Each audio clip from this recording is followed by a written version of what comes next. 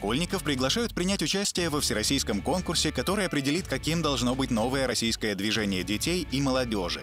В проекте могут участвовать команды школьников и студентов СПО из России, Донецкой и Луганской народных республик в возрасте от 11 до 18 лет, а также один взрослый педагог, вожатый детского лагеря или родитель.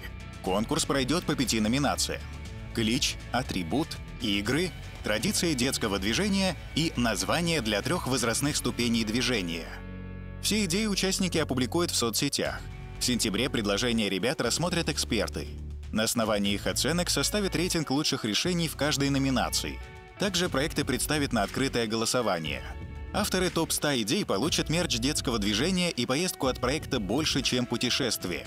Топ-20 команд станут участниками декабрьского съезда движения в Москве. Детские лагеря, в которых созданы лучшие решения, получат походное оснащение. Конкурс продлится до 30 августа. Принять участие в проекте можно по ссылке в описании к ролику. В среду был принят новый законопроект о российском движении детей и молодежи.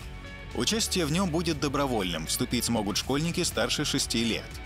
Цели организации – воспитание, развитие, самореализация, профориентация и досуг детей, а также подготовка молодежи к полноценной жизни в обществе и многое другое.